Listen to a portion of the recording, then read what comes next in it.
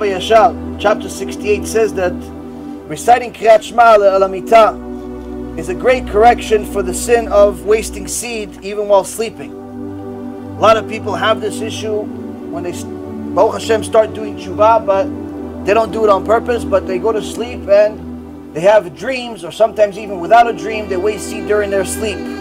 One of the ways that you can protect yourself, at least help the scenario until your body heals along with your neshama from all of the years that you've made a sin, is saying Shema. Now, a man should not say, after he reads about all of these warnings, that I transgress all of them, or some of them, but I still don't spill seed in vain because it's possible that some drops of semen come out of this person through his urine. And the words of our sages, may their memory be blessed, are holy and faithful. The Chidah says. So a person says, listen, I make some of these sins, I look here, I look there, I look everywhere I want, but uh, it doesn't affect me, I don't waste seed. Says, if you're looking, seed will come out of you. How? It'll come out in your urine. And I think recent studies scientific studies confirmed that there are actually some people that seed comes out even during their urinating. It's not every time, obviously. It all depends on a person. But if you don't watch your eyes, it's definitely coming out one way or the other. And it's a sin. It's not as grave of a sin as somebody doing it on purpose, but it's definitely not not a big deal. The Zohar Kadosh, as Rabbi Shimon Bar Yochai says, that there's no sin in the world which creates and provokes more anger of the Almighty than the sin of neglecting the brit. As it says in Leviticus chapter 26, verse 25, the sword that shall execute the vengeance of the covenant. Person wastes seed, he's bringing anger to the world, to his own personal life and to the nation Bichlal in general.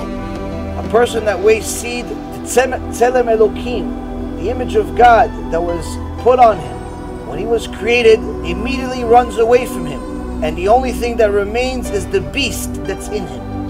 Considered at that moment the beast. And as long as he doesn't do tshuva, he is like the one who has no portion of the God of Israel, and it's forbidden to even talk to him.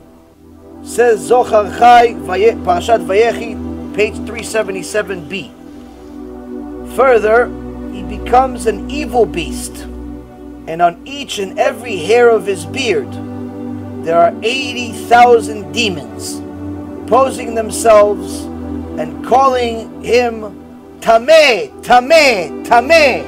No, but I keep Shabbos. Tameh. Yeah, but I learn Gemara once or twice a day. Tameh. But I teach in a yeshiva. Tameh. You waste seed, it's all going to the Sitra Achra. The Seder Hayom, page 37b, says it would have been better for him if he would have died in the womb. And he never would have emerged into the air of the world. It would have been better for him if his hands were cut off so that he would never commit this evil act. When a person understands the magnitude of the sin, he understands why the sages say it's better for this person to die. It's better for this person to never come to the world. It's better for this person to have mitameshuna, such horrible things he brings to the world.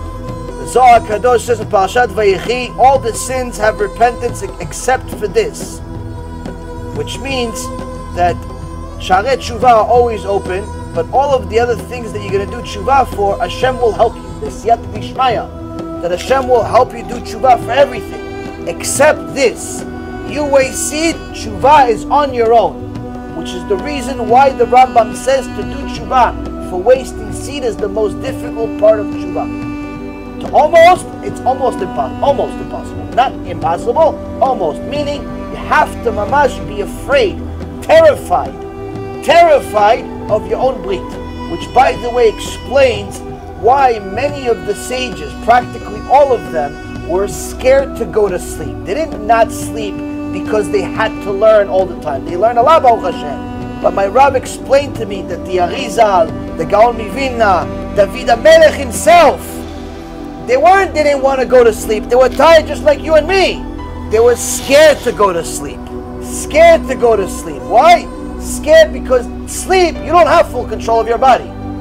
Yeah, but it's not on purpose. Who cares? It was not on purpose. Still creates damage. I didn't kill him on purpose. He still died.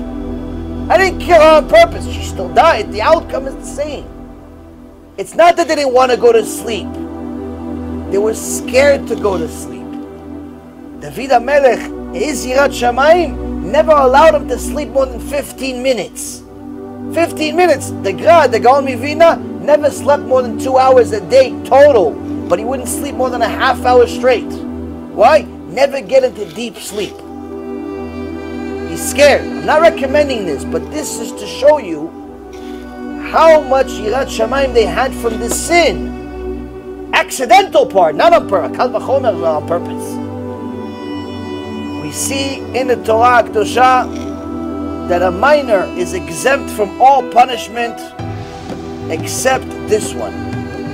Where we see that Er and Onan, the sons of Yehuda, were each seven years old they sinned, Hashem killed them. This is a pasuk in the Torah. Before the written Torah came to the world, there were seven. Hashem killed them. Sharei Kedusha, part 2, section 6. A drop of seed is the secret of the 27 letters of the Torah. 22 Hebrew or the Hebrew regular letters and 5 final letters. The As it's written in the Kavanot of Tikkun Chatzot, now, when a, when a person spills his seed in vain, he's not called a Rasha. He's called Ra. Rasha is wicked. Ra is evil. Ra has a numerical value of 270, meaning that when a person spills his seed, the damage is tenfold, tenfold of the 27 letters of the Hebrew alphabet.